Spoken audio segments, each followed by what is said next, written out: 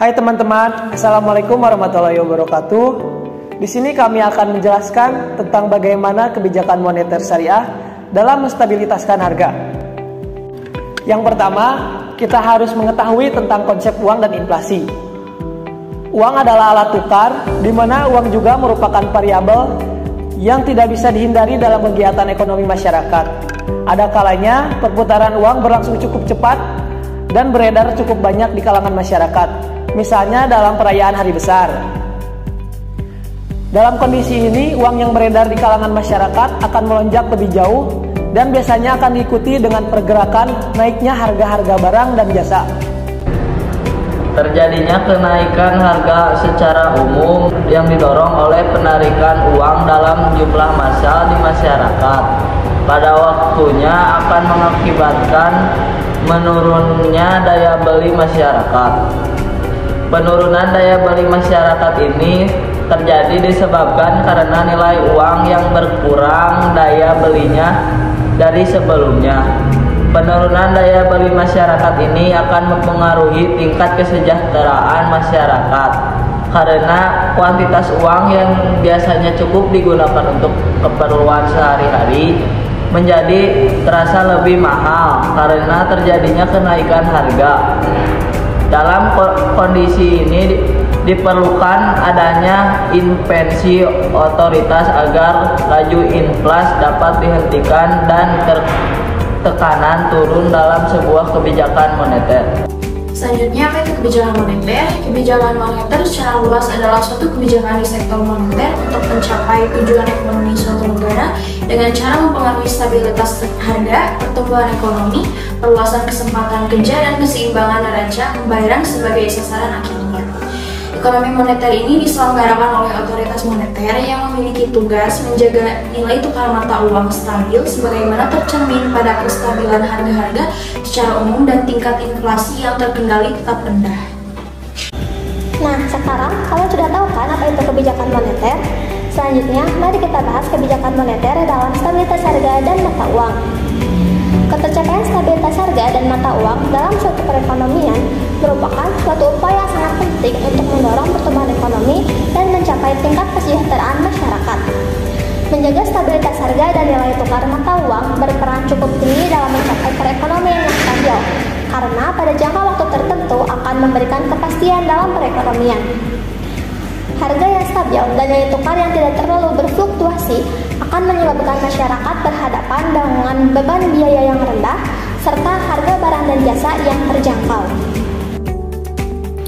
Selanjutnya, bagaimana konsep kebijakan moneter konvensional? Nah, kebijakan moneter suatu negara pada umumnya dilakukan dengan mempertimbangkan siklus kegiatan ekonomi, di mana sifat perekonomian suatu negara itu apakah tertutup atau terbuka, serta mempertimbangkan bauran kebijakan moneter dan kebijakan fiskal.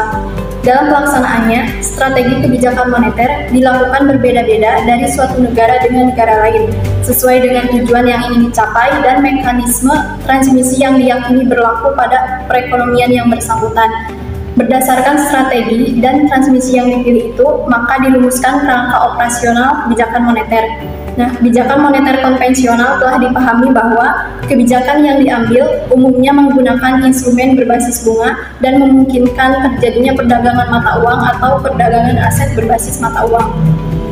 Nah, selanjutnya di sini kita akan membahas mengenai salah satu kasus yang terjadi di Indonesia, yaitu krisis ekonomi moneter pada tahun 1997 sampai 1998. Krisis ini ditandai dengan melemahnya fundamental ekonomi makro di Indonesia, seperti adanya inflasi dan nilai tukar mata uang yang tidak stabil.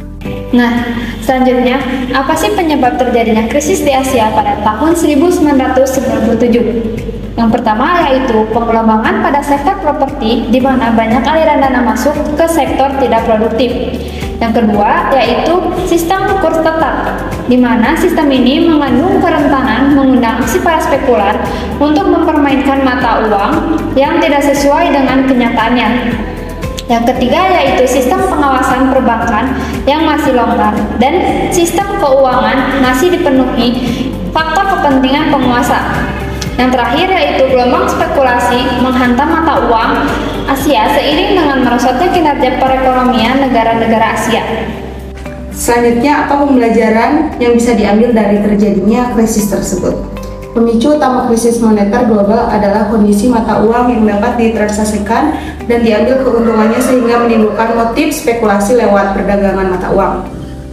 Setelah kondisi tersebut, sistem keuangan syariah mulai dipandang dan dunia global tertarik dengan sistem keuangan syariah termasuk di Indonesia. Prinsip utama yang dikemukakan adalah memposisikan uang sebagai mata uang alat tukar dan alat penyimpan kekayaan tanpa membenarkan fungsi uang dalam perspektif spekulatif.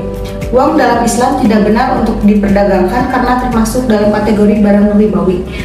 Nah, untuk selanjutnya yaitu stabilisasi dalam sistem keuangan syariah. Kebijakan moneter syariah bertujuan mewujudkan falah dan makosid syariah.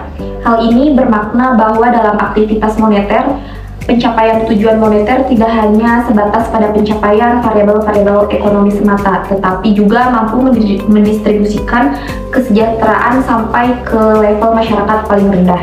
Kebijakan moneter syariah diasumsikan mampu mewujudkan stabilitas harga karena berjalan tanpa interupsi bunga, spekulasi, menimbun uang, dan selalu terkait erat dengan sektor real.